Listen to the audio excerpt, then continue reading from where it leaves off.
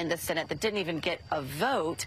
Uh, and of course, that President Trump told Republicans not to vote for because he said it didn't go far enough. This is their way of saying, look, we've tried to take really bold action through an executive order. The court stopped us. Now it's up to you, Congress. And they want that message going into the November election, especially if those numbers rise along the border.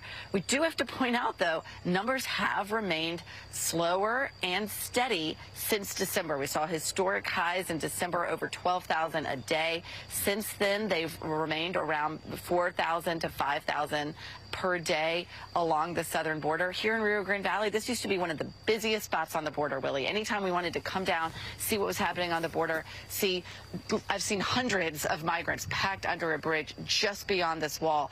Today, pretty quiet. We've seen a few Border Patrol vans roll through. They might be hearing uh, some small groups of migrants coming through. But by and large, the border has been quieter this year than we saw, especially toward the end of last year.